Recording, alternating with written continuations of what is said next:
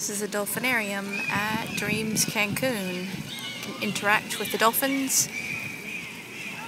There are fees for it, but it's pretty cool. You can sit here and watch it all day long.